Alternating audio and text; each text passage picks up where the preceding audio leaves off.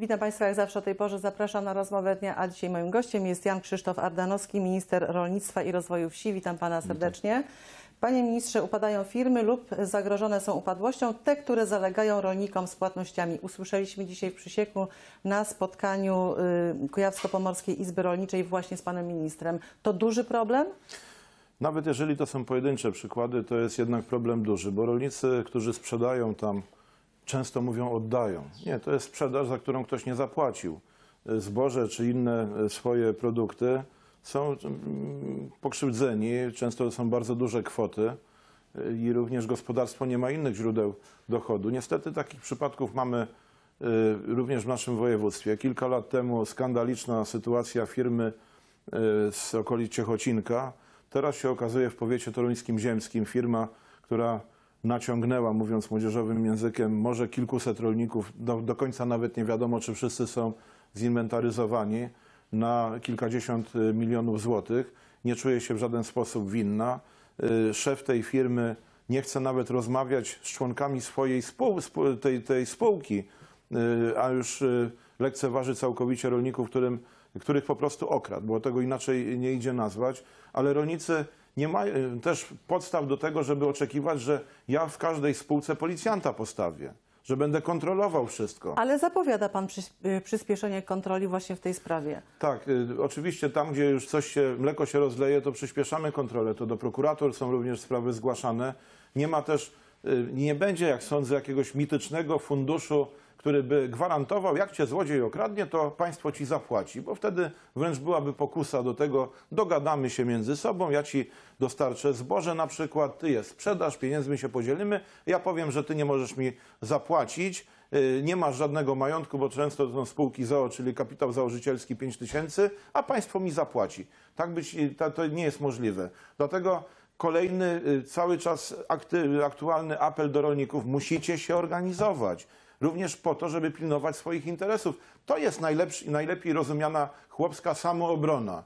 Nie tam jeżdżenie traktorem po rondach i opowiadania, niech minister coś wam zrobi, tylko pilnowanie, że jak nie płaci od jakiejś grupy rolników, na przykład kupujący, y, termin do końca dnia, to następnego dnia już jest nasz przedstawiciel, który sprawdza, co się dzieje. To jest forma również obrony ich chłopskich interesów. Panie ministrze, skoro y, rolnicy, tak też się zdarza, coraz częściej dają swoje produkty tym firmom bez y, żadnego zaświadczenia, to jaką mają szansę na odzyskanie tych należności? Nie, w takiej tej sytuacji, nie mają żadnej. To jest właśnie, wydawało mi się, że gdzie jak gdzie, ale w Kujawsko-Pomorskim po doświadczeniach z taką złodziejską firmą z Kujaw, notabene bardzo powiązaną wtedy z władzami PSL-u, która broniła się właśnie układami politycznymi, to już nie będzie rolników na, w naszym województwie, którzy nie doczytają umowy, którzy dają na gębę zboże do przechowywania, na przykład nie mają żadnego dokumentu, który by to potwierdzał, ale również od tego jest e, Izba Rolnicza, organizacja, którą kiedyś zakładałem, żeby doradzać rolnikom, podpowiadać, udzielić pomocy prawnej, znakomici prawnicy, może najlepiej, najlepsi w Polsce, żeby nie było rolnika, który coś w ciemno podpisuje albo okularów nie założy, mówi, panie, coś tam drobnym drukiem pisało, ale nie wiem co. To dotyczy wielu innych transakcji z kupującymi, z dostarczycielami środków do produkcji i tak dalej, i tak dalej. Tych, którzy chcą, żebyśmy pola im do czegoś użyczyli.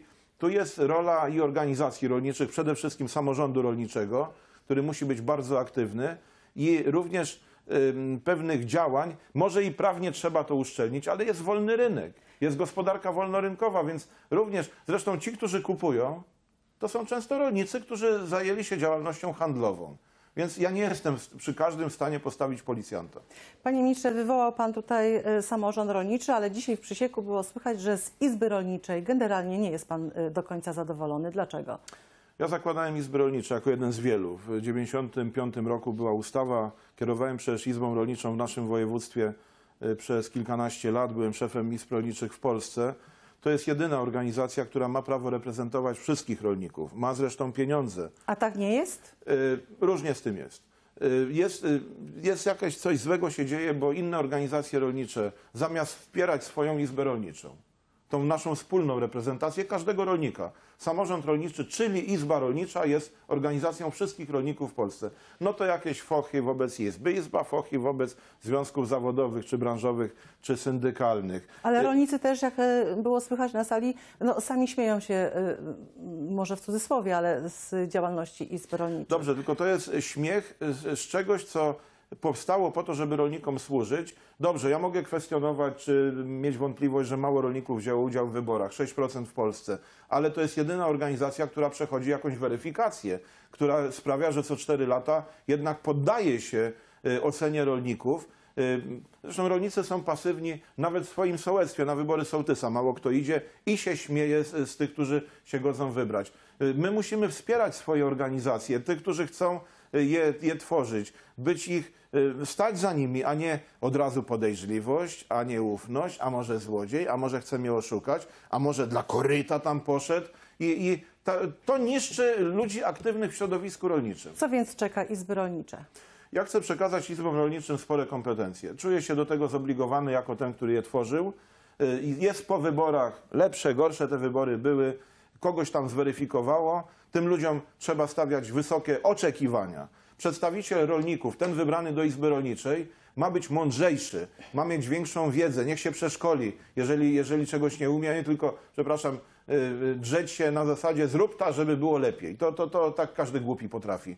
Natomiast chcę przekazać Izbom Rolniczym szereg zadań. Jestem po rozmowach z Krajową Radą Izb Rolniczych, bo partnerem dla ministra jest e, ta, ta krajowa reprezentacja Izb Rolniczych, ale będą to takie zadania, które Izby są w stanie udźwignąć, bo e, mają współdecydować, nie tylko kwiatek do kożucha opiniować, współdecydować o kierunkach polityki rolnej i wtedy ja, mając tego typu uzgodnienie, podkreślam, uzgodnienie z organizacjami rolniczymi, staram się na Radzie Ministrów, w polskim parlamencie, jak trzeba to w Brukseli, ale rolnicy, ci reprezentanci biorą na siebie odpowiedzialność za to, żeby tej wspólnej decyzji bronić wśród rolników. Panie ministrze, zdecydowanie zapowiada pan też e, specustawę dotyczącą wirusa afrykańskiego pomoru świń ASF. Co się w niej powinno znaleźć? My nie pokonamy choroby, jeżeli nie będzie odstrzału dzików. I niezależnie od tego, czy to się ekologom podoba, czy nie, jest to jedna ze sposobów, jeden ze sposobów walki z chorobą na, na, zalecany, narzucony przez Unię Europejską. Bioasekuracja, czyli uszczelnienie gospodarstw, żeby nie dostawały się zwierzęta, y, owady. Ale ja nie wiem, jak uszczelnić chlewnię, żeby mucha do niej nie wleciała. Jest jakiś gatunek muchy, która też chorobę przenosi. Bo są też wskazania, że sami rolnicy mogą tę chorobę Mogą, roznosić. mogą, ale rolnicy już chyba są na tyle świadomi, że jest, są to przypadki odosobnione. W tym roku w gospodarstwach jest 48 przypadków w Polsce. Od półtora miesiąca nie było żadnego. W zeszłym roku o tej porze było grubo ponad 100. Czyli co w W specustawie? specustawie muszą być dodatkowe obowiązki wobec myśliwych. Nie mogą e, wzruszać ramionami mówiąc, my nic nie musimy, a pan, odstrzał, a tak? pan może nam skoczyć. To są zobowiązania wobec y, y, obywateli, wobec rolników, czyli y, konsekwencje dla kół łowieckich, dla władz y, tego związku, łącznie y, z likwidacją kół. Również rozważam y, uruchomienie y, alternatywnych y, sposobów y, organizowania się myśli, myśliwych w Polsce poza Polskim Związkiem Łowieckim. Czyli nie będzie To- już monopolistą. to są obowiązki również milicji y, dla chronienia y, po- polowań legalnie przeprowadzanych, żeby y, tak zwani ekolodzy, Bóg wie co to znaczy, bo ja do końca nie wiem, czy ten, który działa na szkodę Polski, przeszkadza ojczyźnie, y, chce- rozprzestrzenienia się choroby, można go nazwać ekologiem, bo to by chyba y, deprecjonowało określenie y, ek- ekolog. A Tam- dlaczego takie argumenty w kierunku ekologów? bo między innymi niedawno się nie odbyło polowanie w jednym z województw, gdzie chcieli myśliwi ostrzelać, bo przyjeżdżają ekolodzy w żółtych kamizeleczkach i jeżdżą rowerem przed lufami.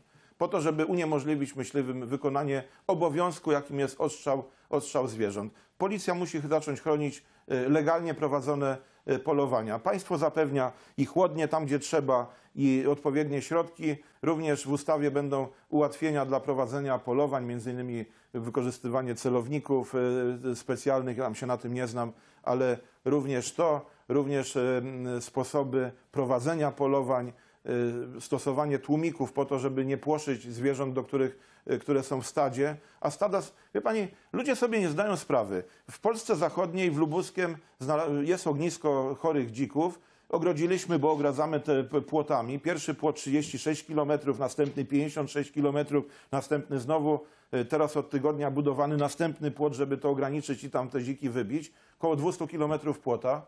To miliony kosztuje. Y, Na terenie tym pierwszym ogrodzonym, według norm unijnych, powinno być 7 dzików, a tych dzików jest koło 200. Tak, tak jest przesadzona populacja wielu zwierząt w Polsce i człowiek, człowiek ma obowiązek również panować nad przyrodą. To jest jego i obowiązek, i zadanie. Kiedy specustawa wejdzie w życie, Ona stanie na Radzie? Ministrów, będzie dyskutowana założenia. Premier polecił tu szybką pracę na mój wniosek. E, Ministerstwa mają zgłaszać swoje uwagi do jutra. We wtorek będzie kolejne spotkanie po Radzie Ministrów i już te ustalenia będą prze, przełożone w krótkim czasie i y, jeden z najbliższych sejmów. Nie wiem, czy jeszcze w starym roku, czy już po nowym roku. To musi być y, uregulowane, bo inaczej polegniemy, a ci wszyscy, którzy nie rozumieją, że zniszczenie hodowli trzody chlewnej w Polsce, do tego to prowadzi. Choroba, która nie ma żadnego wpływu na ludzi, na żadne inne gatunki zwierząt, jest szkodliwa tylko dla świń, że ta choroba może zniszczyć hodowlę, która rocznie w Polsce przynosi 20 miliardów złotych. To jest nieszczęście i trzeba zdecydowanie z tym walczyć. Panie ministrze, cytat, pańskie słowa, nie tylko w walce z ASF, ale wszędzie musi nastąpić poprawa efektywności działania, dlatego przygotowuje bardzo dużą reformę samego ministerstwa oraz instytucji działających na rzecz rolnictwa. Jakie będą to zmiany? Instytucje mają służyć y, społeczeństwu, tym grupom, dla których są dedykowane. Rolnikom, jeżeli to jest Agencja Restrukturyzacji, KRUS, y, szerzej obszarom wiejskim i rolnictwu, y, Krajowy Ośrodek Wsparcia Rolnictwa. Y, Są określone działania Ministerstwa Rolnictwa. Dlatego i zmiany organizacyjne w ministerstwie, między innymi do tej pory, to jest ar- archaiczna struktura. Nie ma żadnych komórek, które by odpowiadały tym nowym wyzwaniom. Sprawa klimatu, rolnictwo a klimat, innowacyjność w rolnictwie, energia odnawialna w rolnictwie, woda w rolnictwie. No nie ma instytu- działów, które by się tym zajęły, więc to musi być przebudowane, ale również zdecydowana odpowiedzialność urzędników. Nie ma rozmywania odpowiedzialności, nie ma zasłaniania się opiniami prawnymi, prawnikami, nie wiadomo czym. Każdy urzędnik, który bierze dobre pieniądze, tak na, na marginesie, wszyscy dyrektorzy y, departamentów w Ministerstwie Rolnictwa zarabiają lepiej niż minister. Ja wiem o tym i y, działam nie dlatego, żeby na tym zarabiać, tylko żeby służyć najlepiej, jak potrafię Polsce. Minister to jest sługa. W związku z tym ci wszyscy moi pracownicy, czy ministerialni, czy podległych instytucji, a jest ich około 31 tysięcy, zmniejszyłem w zeszłym roku o prawie 3 tysiące, ale te 31 tysięcy również mają rozumieć, że służą społeczeństwu. To będzie rewolucja czy ewolucja? Ewolucja. Ja nie jestem rewolucjonistą. Byłem re- rewolucjonistą, y, jak byłem młodym człowiekiem i walczyłem z komuną.